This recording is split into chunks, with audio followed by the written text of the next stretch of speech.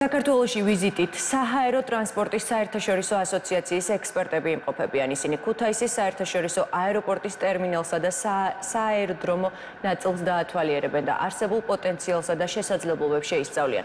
მომდენო 6 თვის განმავლობაში კი ქუთაისის საერთაშორისო აეროპორტის განვითარების მოკლევადიან, საშუალოვადიან და გრძელვადიან გეგმას მოამზადებენ, რაც 20 წლიან პერსპექტივაში აეროპორტის მასტერ პლანის მომზადებას გულისხმობს.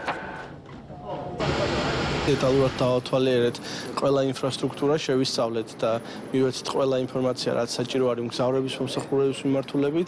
პროცესი დაახლოებით 6 თვეს გასტანს და ჩვენ აპრილში გვექნება ქუთაისის განვითარების 20 წლიანი განვითარების გეგმა, რომელიც იქნება სახელმძღვანელო იმისით, რომ სად და როგორ უნდა განვითარდეს აღნიშნული აეროპორტი.